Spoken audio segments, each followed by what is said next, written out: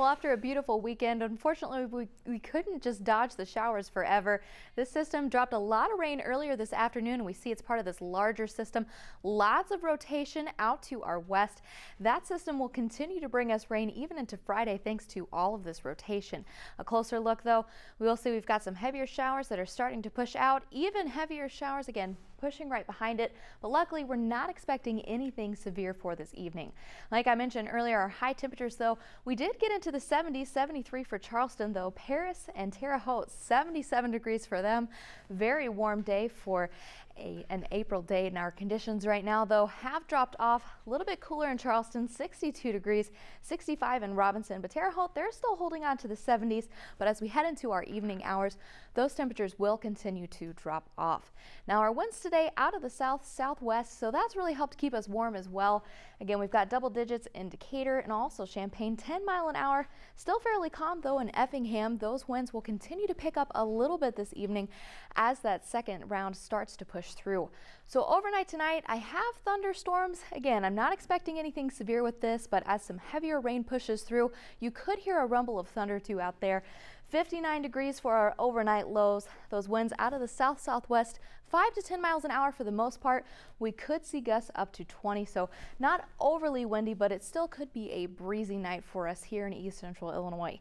Now, futurecast again, we've got the system that's pushing right into our viewing area right about now into the southwestern portion. As we put Futurecast into motion, we'll see that continues to push in right around 8 o'clock, 8.30, right centered over the viewing area. That's where we're seeing the heaviest showers. Those will continue to push through. And again, it's starting to wrap around from the south.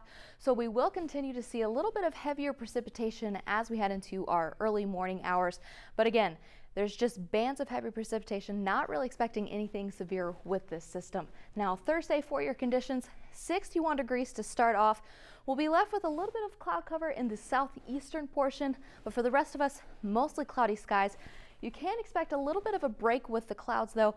68 degrees by the time you're heading out for lunch, so it warms up very quickly. Expecting our high though 69 degrees as the kids are getting out of school.